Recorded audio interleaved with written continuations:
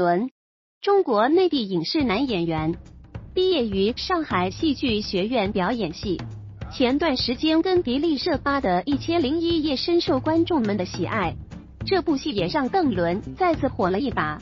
邓伦外形青春阳光，还有点韩范花美男般感觉。他最早在电视剧《花非花雾非雾》中的表现令观众眼前一亮，他对角色的把握很精确，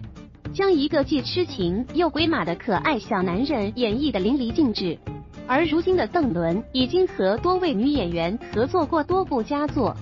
比如邓伦和赵丽颖合作的《楚乔传》，跟迪丽热巴合作的《一千零一夜》，跟孙怡合作的《因为遇见你》，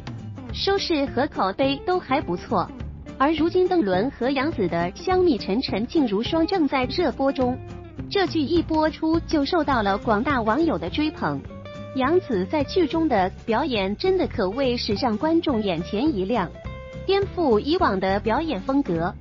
然而，当一个明星越来越红时，